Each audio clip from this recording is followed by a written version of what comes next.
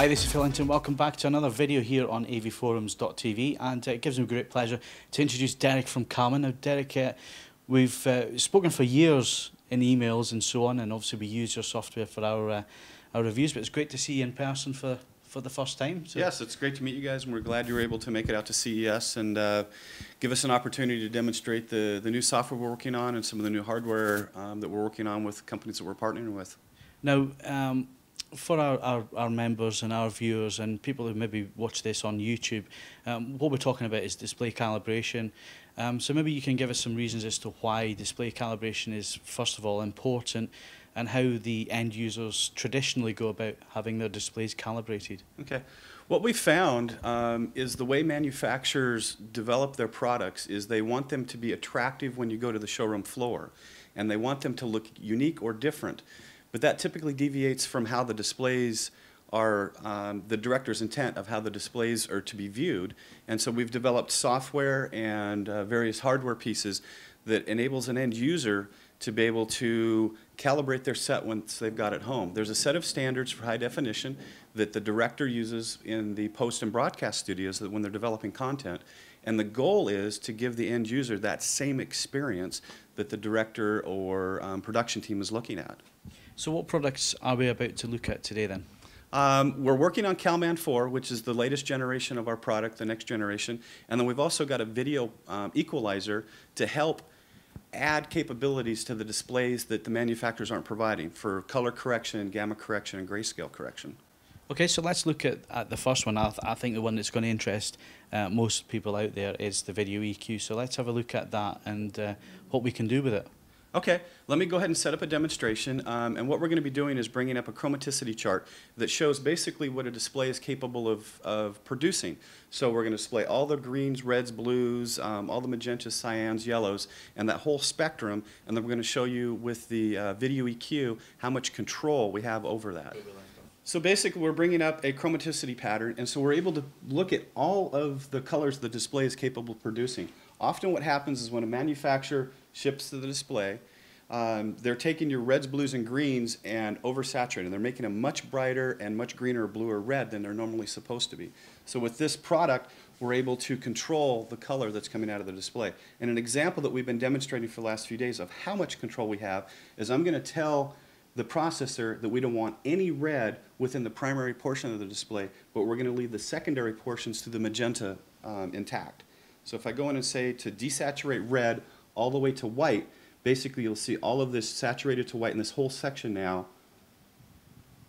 this whole section now is white. I can do that with the other primaries as well. I'll desaturate those, and so the only thing we have in this diagram are the secondaries. The yellow, cyan, magenta. Um, I can also do that with the secondaries. I can desaturate those to white. So essentially we've taken all of the color processing out of the image, and ended up with just a standard grayscale. Um, that shows how much power we actually have over the uh, traditional signal processing. We can do the inverse of that. I can go back and add in the primaries and leave the secondaries out. And these are good examples. So when somebody is looking at a traditional CIE chart, to give you an example of how the secondaries and primaries make up the chart. And so we can see this much area is primary, this much area is primary, this much area is primary, and we actually, the secondaries are actually a very small portion of the overall um, color palette. Um, another example that we've been showing is how much color or how much control we have over live pictures. Okay, so we've switched to um, another pattern that shows us kind of the demonstration of, of material you would be looking at. Traditionally, we've looked at flesh tones to try and determine how to calibrate a display. Um, and those typically aren't necessarily a good indication of, of how to calibrate a display. And one of the examples here is we'll see that we've got a lemon here and a yellow clock. I can go in and change this picture and take all of the yellow out of it completely. So as we were doing in the previous demonstration where I was removing yellow just from the chromaticity chart, here I've removed yellow from the entire picture and it really didn't change the skin or flesh tones that much. Um, again with the signal processing, Anything that was yellow is currently white. I can change those back to yellow. Let me set this up. To show what the, the picture would normally be. But then I can also change the hue of yellow, and we can do that with all the primaries and secondaries. We can basically shift all the way around the chromaticity chart. And so this example, we're gonna change our lemon to a different citrus fruit. And now it's a lime. But we only, um, we barely changed the rest of the, the skin tones and flesh tones. We, the only thing we really affected was the yellow portion of the screen. We're gonna change it the other direction and show that we can turn a lime back to an orange. And the one we just found out this morning, experimenting with, is we now came up with a new citrus fruit that is blue. I'm not sure what we would call this, but now we've got a blue citrus fruit. So this gives you an example of how much capability we have over the color coming out of the display. So the whole goal of this is the display manufacturers want to make displays brighter, brighter colors, more, um, more colors, and our goal is to bring them back into standards and provide software, hardware, or other controls to be able to do that. And I guess, Derek, what we're saying here is at all times the people viewing this have been able to see the skin tones below. And a lot of people set up their displays by looking, by eye, by looking at skin tones. And what we've just shown them is that even if the skin tone looks right, the clock that should be yellow could actually be green or blue. or So they really need to think about colour in a different way. Yes, primarily skin tones. If you're looking at skin tones, let me go ahead and reset this back so we've got a proper picture, and we'll show you how much color is actually in skin tones. So we get back, okay, so we've got our yellows, everything is back. I'm going to desaturate red itself, and we'll see what happens to our skin tones in our subjects here.